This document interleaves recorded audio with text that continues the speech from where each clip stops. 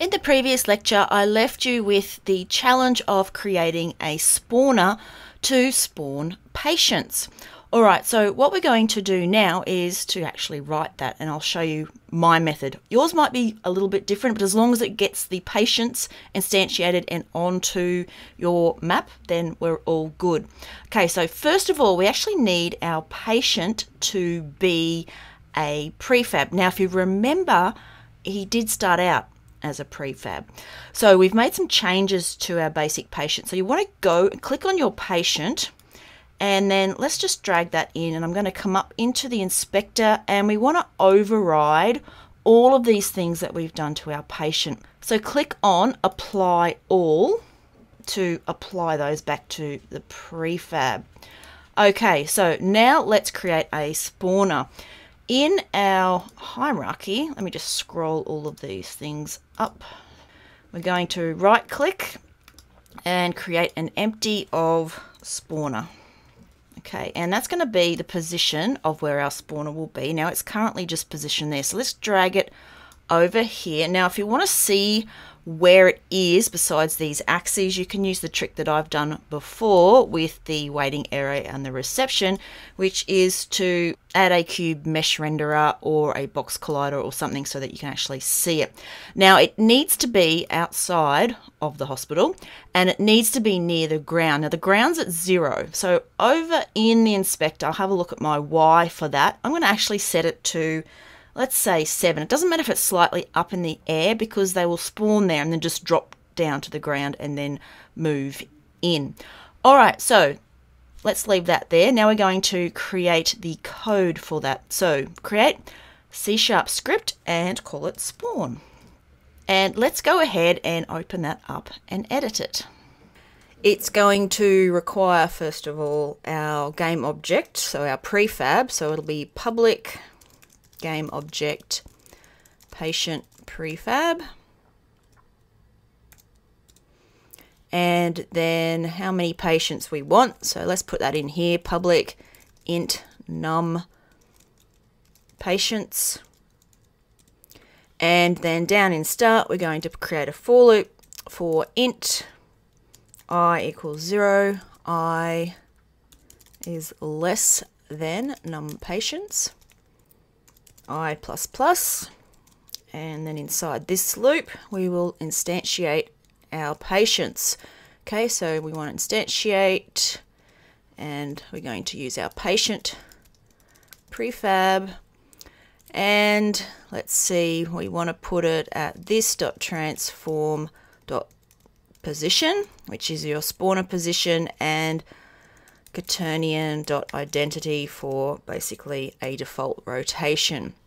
And we spell transform correctly. Now, the problem with this that I'm just thinking now is if we loop through this all in the start, we're going to end up with what 100 patients straight away. Now, that might be what you want. I'd rather have this spawning them at particular intervals. So instead, I'm going to go down here and put void, um, let's go spawn patient.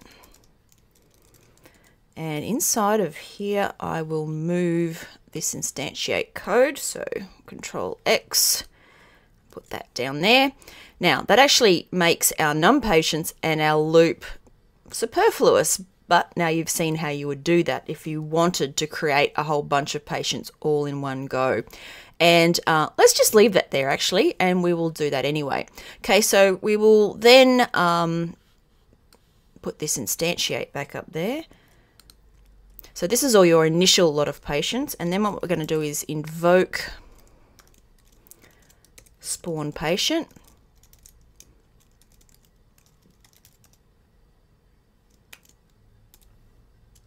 After, say, five seconds, and then inside of spawn patient, we will get it to invoke itself.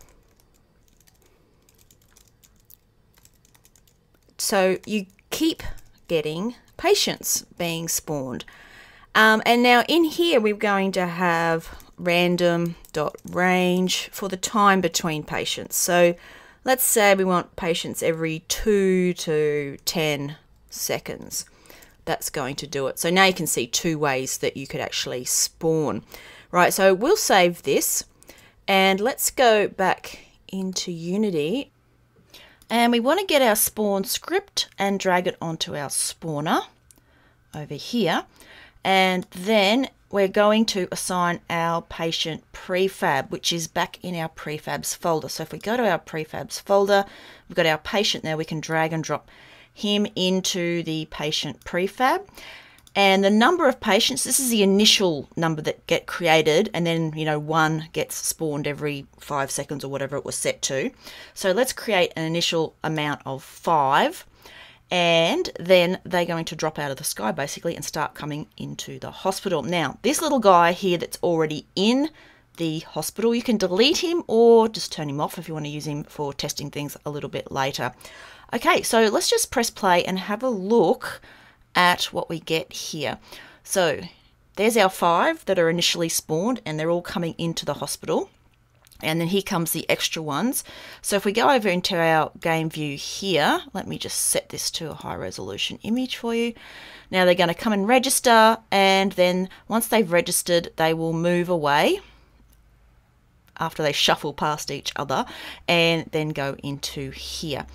Right, so some little bits of debugging information at this point if you find that they are um, not getting to their destination, uh, skipping over steps, or whatever, like, you know, it's going to happen as you're trying to test this. The most common thing in this particular scenario or the use of the nav mesh is that the agents can't reach their destination. For example, down here, we're getting a big pile up in this waiting room. Now, remember that the waiting room has a specific location, which is one little tiny point. If I select that, and let's just come over to here. Okay, it's right there. So that means the agents have to get to that specific point to be considered in the waiting room. And if we have a look in the code for this, let's just pause. I'm going to go back into the agent's scope code and have a look at our G agent code. In order to consider that they've actually reached a destination, if we have a look in the late update, we've got this line here for remaining distance. So it's going to consider that you've reached a destination waypoint on the nav mesh if you're within one distance. Now, for using unit sized agents like I am, I find that one is quite acceptable. You might want to make this a little bit bigger if you find that your agents just aren't reaching that location. Now, the other thing that could happen is if you set this to 20, then the agent will consider himself having reached a waypoint when he's like 20 units away, which will make the actions look a bit odd. So it might make an agent look like he's reached the waiting room when he's still standing out here, which is something that you don't want. Okay, so that's that's one thing. Now, any agent that doesn't reach a waypoint will still be trying to execute one of the actions. Okay, and you can tell if you select an agent. So let's find someone who's actually still doing stuff, this guy here. And over in the inspector, let's find his parent patient.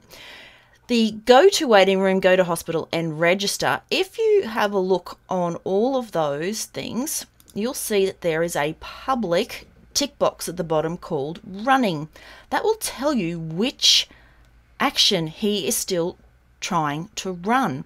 So this particular agent over here, he's at the reception desk, so he's obviously still registering. And if we have a look at his register, it is ticked to say that it is still, in fact, running. Now, if we press uh, unpress pause and wait for a moment until he's finished, you can see now that that has been unticked and he's now going to the waiting room instead. Okay, so now whilst this is going on, let's pause again. Another way to have a look at, at debugging this is if we go into the console, you'll see that it's printing out the plans. And so here you can see it says the plan is go to hospital, register, go to waiting room. So this plan is actually happening in order. And I've collapsed down what's going on in the console because it will just be writing this out for every particular agent. But this is showing you that this is what the plan is that they've come up with, which is the plan that you wanted them to come up with. So that is at least all good.